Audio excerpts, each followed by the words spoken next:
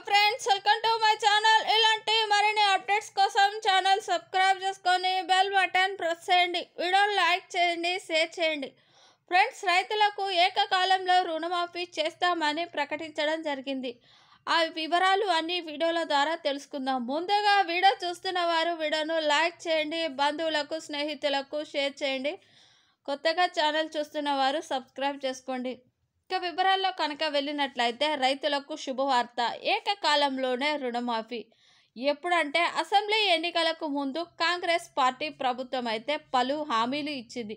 ఈ నేపథ్యంలో రాష్ట్రంలో కాంగ్రెస్ పార్టీ అధికారంలోకి వచ్చింది. హస్తం పార్టీ అధికారంలోకి రాగానే ఆరు గ్యారంటీలో భాగంగా మహిళలకు ఉచిత బస్సు అలాగే ఆరోగ్యశ్రీ కింద పది లక్షలు పెంచింది. త్వరలోనే రెండు వందల యూనిట్ల ఉచిత విద్యుత్తు ఐదు వందల రూపాయలకే గ్యాస్ సిలిండర్ అందించే ఏర్పాట్లు కూడా చేస్తుంది.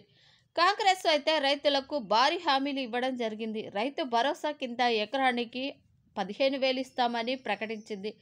రైతు కూలీలకు పన్నెండు వేలు ఇస్తామని చెప్పడం జరిగింది. అన్నింటికంటే ముఖ్యంగా రుణమాఫీ చేస్తామని అది కూడా ఏకకాలంలో చేస్తామని చెప్పడం జరిగింది.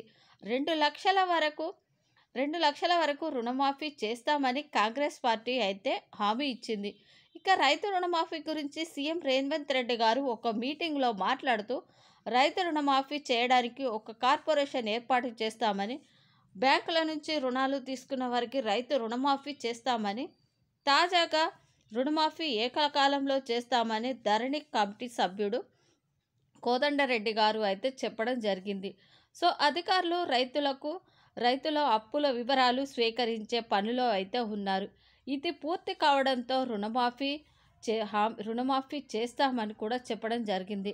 గతంలో ప్రభుత్వం అధికారంలోకి అక్రమంగా భూములు తీసుకున్న వారి అధికారులపై కూడా విచారణ చేస్తామని రైతులు పండించే ధాన్యాన్ని బో ధాన్యానికి బోనస్గా ఐదు వందల రూపాయలు ఇస్తామని చెల్లిస్తామని వరి ధాన్యంపై రెండు వేల అరవై రూపాయలు ఇప్పుడు ఉంది అయితే దాన్ని ఇరవై ఆరు వార ఇరవై ఆరు వందలకు చెల్లిస్తామని మన ధరణి సభ్యుడు కోదండరెడ్డి అయితే ప్రకటించడం జరిగింది. ఇక మనకు ఎలక్షన్లు రాబోతున్నాయి కాబట్టి ఈ మార్చి మార్చిలోపు లేదా ఉగాది లోపు అయితే రుణమాఫీకి సంబంధించి అయితే రుణమాఫీని మాఫీ చేస్తామని చెప్పడం జరిగింది. సో ఎలక్షన్లు వస్తే మాత్రం ఈ రుణమాఫీని మళ్ళీ వాయిదా వేసి ఎలక్షన్లు అయిపోయాక రుణమాఫీకి సంబంధించి డబ్బులు విడుదల చేసే అవకాశం ఉంది అని చెప్పడం జరిగింది.